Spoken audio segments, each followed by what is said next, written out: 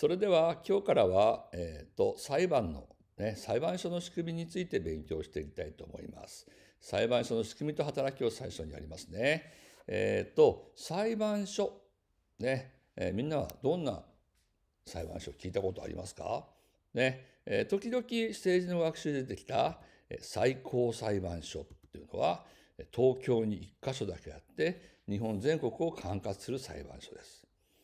えー、他にも裁判所があってですねちょっと似てるんですけど高等裁判所、ね、高裁と訳すことがありますがこれは8箇所あるんですね。つまり、えー、地方ごとに置かれているということですね。えー、とまあそして続いてですね地方裁判所。うん、俺高等裁判所が地方ごとでちょっとこれあの言葉がね、えー、ごっちゃになりやすいですが地方というのはこの場合はね都道府県を指しているんですよほぼね。えー、と、うん、群馬県だったら前橋地方裁判所、ね、のように、えー、と県庁所在地に裁判所があるのが普通です。ね、そして、えー、地方裁判所と同じ建物に大抵家庭裁判所も入っていることが多いです。ねえー、50箇所で都道府県ごとです。あれ50箇所ちょっとね多いな都道府県の数よりね北海道が広いので、えー、と複数あるんですね。はい、それからですね、えー、簡易裁判所というのがあって、え、っと438箇所つまり先ほどの家庭裁判所や地方裁判所があった都市以外の主な都市に置かれています。ねはいえー、分類ではね高等地方家庭簡易を下級裁判所というふうに分けています。はい。えっ、ー、と、裁判所の名前ちゃんと覚えてくださいね。それから、え裁判言っていますが、普通2種類に分かれています。ね、まずは民事裁判。聞いたことありますか？ね、えー、っとですね、あのお金の問題とかですね、契約の問題とかでですね、えー、問題、トラブルが起こった時のね、詩人の争い、まあ、詩人って、えーと、人のこともあるし会社同士などのこともありますがこれを解決するんですね、えー、大事なことは民事裁判っていうのはこう犯罪に対する裁判ではないことが多いです。ねえー、犯罪者じゃないんだけれどもあのトラブルが起こったという時に解決するという特徴があります。さああとテレビのドラマなんかでよく見る裁判はこの次の刑事裁判のことが多いです。これは犯罪が関わっている。ね、よくみんなが知っている裁判はこっちだと思います。ね、有罪か無罪かを裁判官が決めてまたはどんな罰が与えられるかが決定するっていうねよくある裁判が刑事裁判で犯罪が起こった時に刑事裁判が行われます。あのねえーと、犯罪が起こって、えー、犯罪を裁くだけではなくて損害も出ているので、えーと、例えばあのお金がなく取られたら返してもらいたいとか怪我をさせられたんで、えー、お金を請求したいのように、えーと刑事裁判と民事裁判が同じ事件で両方あるということもあります。ね。はい。それからですね、どんな人が裁判に関わるか。ね。大事なの言ってみましょうね。もちろん裁判官。よく知ってるよね。えっ、ー、と、えー、民事裁判、刑事裁判で、えー、法律に基づいて、え、判決を下す役をしています。え、それからですね、この人は刑事裁判にしか出てきません。えっ、とですね、え、犯罪を犯したと思われる人物をこう責めている。こういう悪いことをしてこういう罪がいいんじゃないかとかね、えー、というふうにちょっと責めるような役をしているのが検察官。警察官と似てるんで私子供の頃警察官と検察官って似たようなもんだと思っていましたが似てる部分もありますがちょっと違うんですね。はい、例えば、えーとあの悪いこと犯罪を犯したと思われる人物を訴えるか訴えないか起訴するかしないかを決めたりとかですね。それから裁判に出る。出て、えー、と主張するっていうことですね有罪を主張するわけですね。え警察官は裁判には出ません。ね、検察官は、えーとうん、まああの役所としてはですね身分としては行政の法務省に属しているので行政の役目もしてますが司法の役目も兼ねているという少し変わったね立場になります。先ほどの裁判官は完全に司法の立場検察官は警察と協力して捜査をするなどのような、行政的な役割もするけれども、えーと、起訴をしたり、裁判に出たり司法としての役割もします。それからよくみんなが知ってるようにあのその、ね、責められているえー、犯罪を犯したと思われる人物を守っている人この人はこういういいとこがあるのに今回は犯罪を犯してしまったけども、えー、罪は軽くしてくださいなんて言ってくるのが弁護士さん。ねえー、というようにあの、ね、こういう人たちが裁判に関わっています。まあ、弁護士はね裁判の場面では弁護人と呼ばれている、ね、ですね。はい続いてですね、えー、例えば、えー、何か事件が起こったりまたは民事で問題が起こった時にこれはあくまで例えば初めに地方裁判所に訴えた場合ね、これね、簡易裁判所に訴える場合もあるので、まあ、今回は地方裁判所に訴えると場合があります。これを最初の裁判で第一審と言います。ね、で判決なりいろいろな結果が出た時に、えーと、訴えられた側も訴えた側も不満が残る場合があります。罪が重すぎるとか軽すぎるとかそういう場合ですねえっ、ー、と、次の裁判をもう一回やってもらうことができるんですね。はい。上級上の裁判所に訴えるのを控訴って言います。字を覚えてね、控訴。ね。で、地方裁判所の上なので、高等裁判所。これが第二審。まあ、第二審というのは控訴審ということもあります。ね。同じようにまた不服だった。ね。えっ、ー、と、訴えた方訴えられた方両方とも不満とか片方不満の場合、えー、ともう一回訴えるんですね。はい、上告をすると。ね、外最高裁判所で第三審が行われます。まあ、もちろん上告審ということもあります。はい、このように裁判は3回受けられる、ね、念入りにえーと、人々の運命を決めることですから3回行われる仕組みになっているのを三審制というので覚えておいてください。はい、えー、さっきもほども言いましたが地方裁判所になって簡易裁判所に訴えた場合ここはちょっとややこしいんですが、えー、民事の場合は控訴先は地方裁判所刑事の場合は、えーと、高等裁判所になるのでこの後上告が行われると,、えーと簡易裁判所で民事を訴えた場合は地方裁判所高等裁判所が第三審になるということですね。えー、一番右側左側に第一審第二審第三審って書いてありますがこれは最初の例に関するものなので、えー、と訴えた先によってこの場所は変わります。ね、なので気をつけてもらいたいなと思いますね。えー、一応念入りに説明しますと簡易裁判所に訴えた民事裁判の場合は簡易裁判所が第一審第二審が地方裁判所そして高等裁判所が第三審ということになります。ねはい、家庭裁判所というのがあります。家庭内の問題やえ少年の問題を扱う事件を扱う。ねはい、でこれも三審制なので上の裁判所に訴えられますが名前が広告となっています。ねえーと、あの家庭裁判所は判決ではなくて命令とかねそういうふうに出るので審理の結果が出るので、えーと、違う名前がついているそうです。ね、そしてまた広告、ねえー、というふうに、えー、三審制が作られています。ちょっとねこれよくは、まあ、試験にもよく出るので字をちゃんと覚えることとそれからえーと、あのどこに訴えたかによって、えー、一審二審の場所が変わることなんかも覚えておいてください。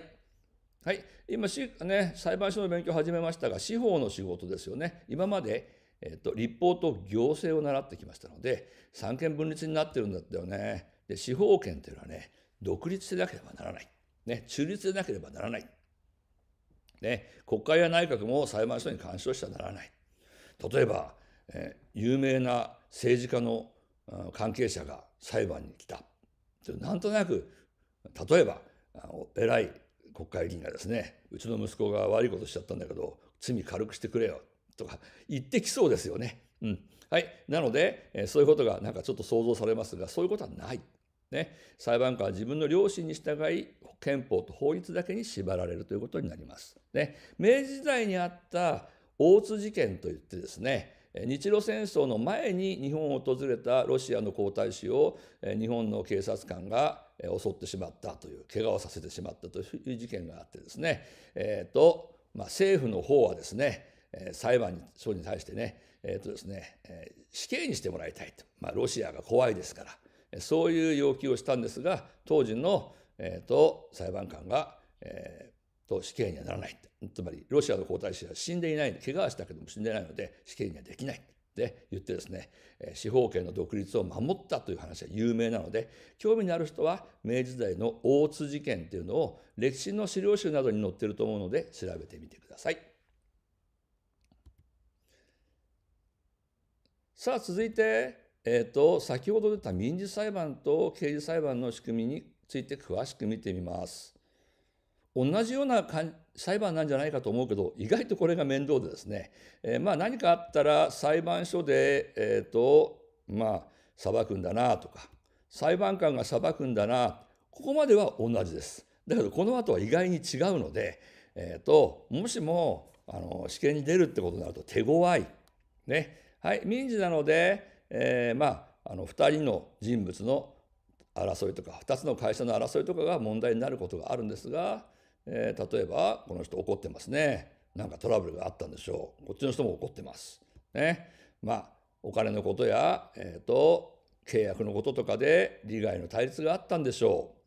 う。で訴えるぞって言ってですね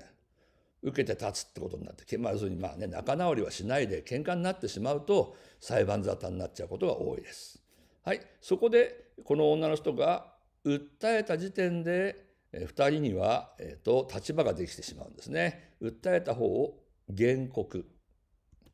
訴えられた方を被告と言います。ね、うんと被告って言葉と被告人って言葉があるんですが民事の場合は被告です。大丈夫ですか？ね。はい、そうしたらですねこの2人はですね裁判所に行ってですね自分の立場を主張してですね、えーとあの裁判官に判断してもらうこれを口頭弁論と言います。え単に裁判じゃないの？っていうね民事裁判の、うん、裁判のことを口頭弁論と言います。ところがですね2人はですね裁判に行って話をしようと思ったんですけど法律のことがあまり詳しくない。ね、法律のこと詳しくないから、えーと、ただあのね罵り合ってるだけじゃ話にならないんで法律の専門家に助けてもらいたいなこれは民事裁判でよくあることで代理人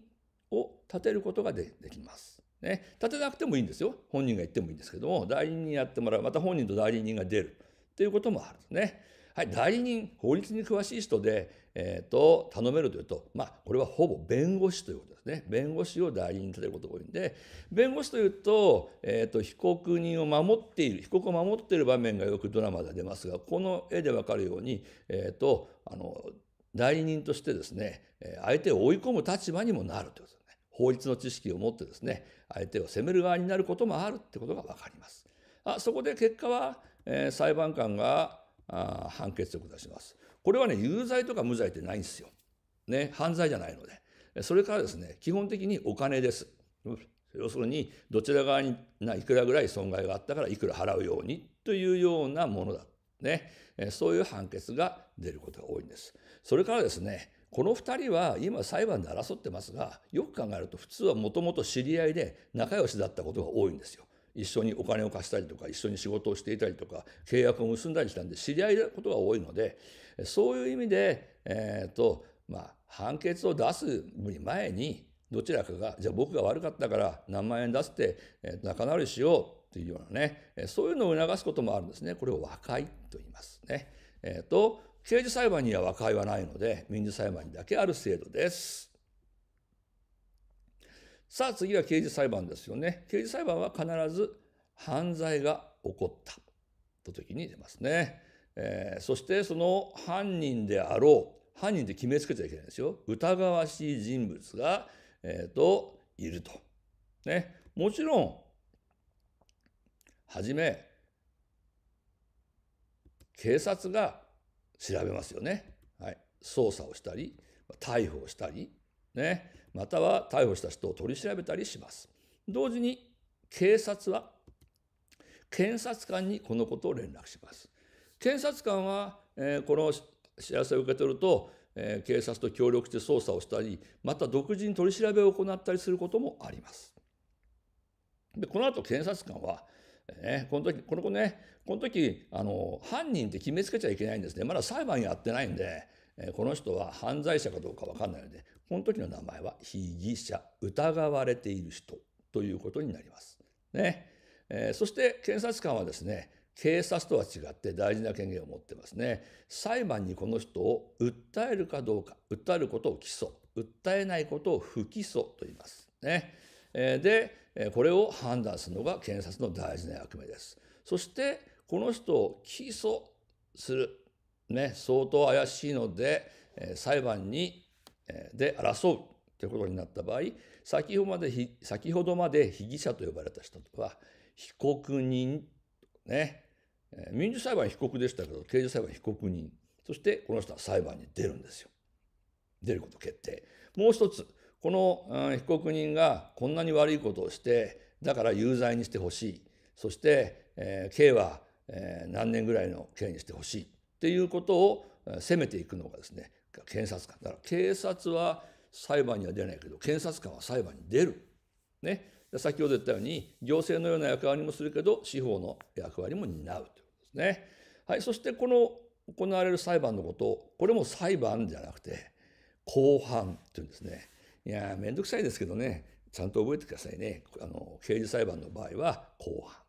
ね。はい、であもう一つみんなよく知ってるように、えー、被告人の方を弁護するかばう役として、えー、弁護士さんがかばっている場面っていうのをよくテレビのドラマでも見ますよね。うんまあ、裁判の席では、まあ、仕事としては弁護弁護士だけども裁判の席では弁護人と呼ばれるんですね。うん。まあ、検察官もね検察官というふうに言ってますが、えー、と仕事の名前としては検事とか、ね、検事生とかそういうあの職名があるんですね、まあ、その警察もですねお巡りさんにもいろいろなね巡査とかえ警部とかいろんな職種があるようにこの職業の名前とこういうあの、ね、裁判での名前が違うことがあるのでこれもややこしいですが裁判に出てる時は弁護士ではなくて弁護人。ね。えーと、裁判に出てる時は検事ではなくて検察官、ね、という立場で出るということですね。はい、えーと、弁護人と検察官がいろいろ言い合ったり証人が、えー、証言をする場合もあります。ね、そして、えー、裁判官が判断を下す。これが判決とね。まずは有罪か無罪かが決まり、さらに量刑といってですね、懲役だったら何年ぐらいにしようかというのが決まるってことですね。はい、こうやって裁判が行われます。ね。はい、民事も刑事もこの結果に不服ならば、先ほど言ったように控訴するってことも行われるということですね。さあ、えっ、ー、と、裁判と人権保護ってね、えー、こう今出てきた文章ですがこれ前に習ったことがあるよねあの人権のとこでやった身体の自由のとこでありましたよね。えーと、あの令状が必要だったり拷問がダメだったり強要された自白は証拠にならないなんてね。まあ犯罪を起こしたと疑われる人ですけれどもあの裁判の結果が出るまではその人権を尊重していくもちろん出てからも尊重するけども特にね。一番下から2行に推定無罪っていう言葉がありますがこの人はすごく怪しいんだけれども、うん、裁判で判決が出るまでは、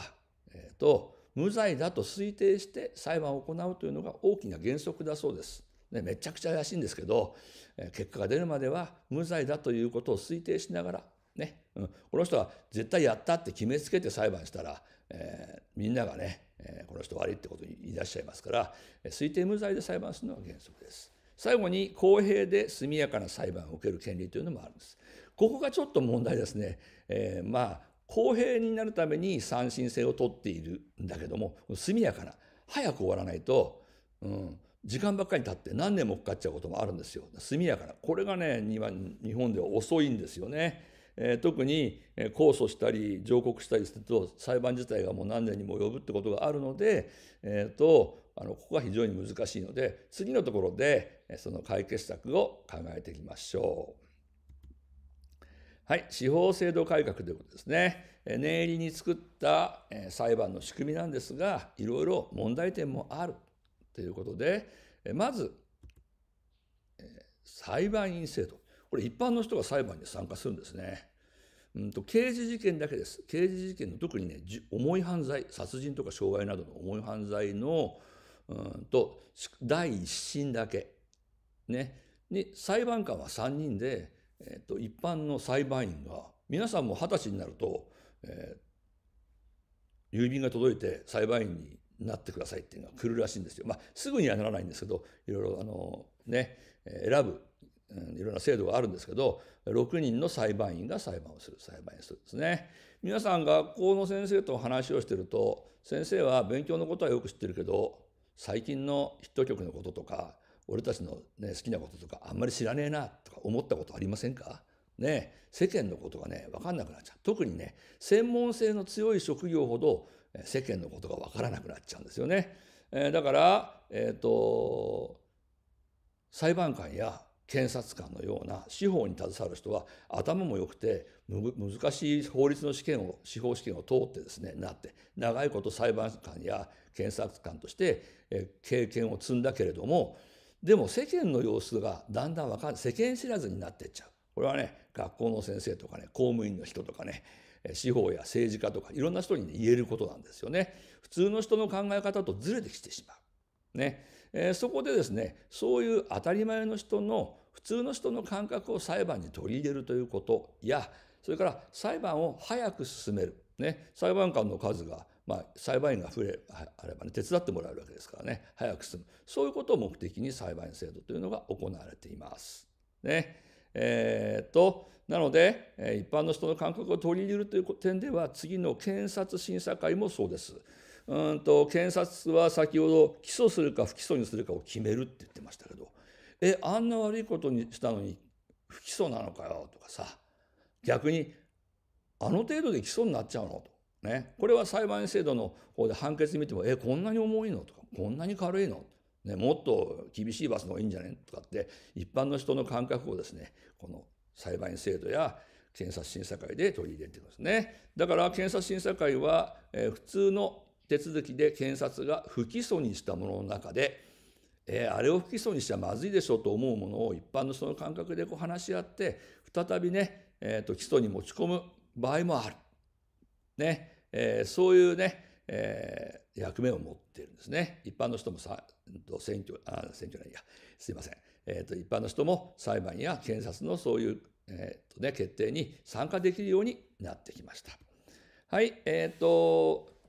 日本司法支援センター、通称ホーテラスと言いますがこれはあの弁護士さんがあの前橋、うん、前橋で都市部にはね弁護士さんの事務所があって何々弁護士事務所って書いてありますがまあ地方の方に行くとですね近くに法律に詳しい人がいない地域なんかもあるのでこういう支援センターを作っていくこれも司法制度改革の一つです。まあ、その他にもいろいろありますね。冤罪っていうのはですね本当はやってないのに裁判の結果やったことにされちゃったとかですね、えーまあ、多くはですね警察がですねまあ推定無罪ではなくてこいつがやったって決めつけてえー、取り調べをしてしまうことなんかが問題なんですね。うん昔は暴力的なこともあったと言われてますね。取り調べの可視化、つまり見えない密室で取り調べ室でやってるから、えー、と違法なね不法な手続きで、えー、自白を取ったりしてもわからないけど見られるようにして録音を取ったりとかね、えー、そういうことも最近は行われます。それからですね被害者の気持ちに配慮した裁判ね、うん、被害者を参加させる。ねえー、確かに刑事裁判を見るとですね、えー、被害に遭った人はあの参加してないじゃないですか。ね、検察が取り調べた結果で訴えるのでまああの民事裁判の原告にあたる役を、うん、検察官がしてるわけですから、えー、その被害者が参加するわけじゃないんですね。なんで被害者が参加する制度を設けるのも、えー、と被害者のね配慮することにつながるだと思います。ねはい、えこういう裁判の様子はですね、まあ、あの国会と同じように、えー、傍聴といってですね、えーまあ、人数は決まってるんですがあの一般の人が聞くこともできて、え公開で行われます。だから昔のように秘密の場所で裁判されていつの間にか死刑になっていたなんてことはないようになってますね。このように、え司法はですね、えー、とこうやって役目を果たそうとしていると、ね、ただしいろいろな問題があって改革も進んでいるということです。さあ言葉がいろいろ難しかったり大変ですが頑張って学習していきましょうね。はい、今日はこれで終わりにします。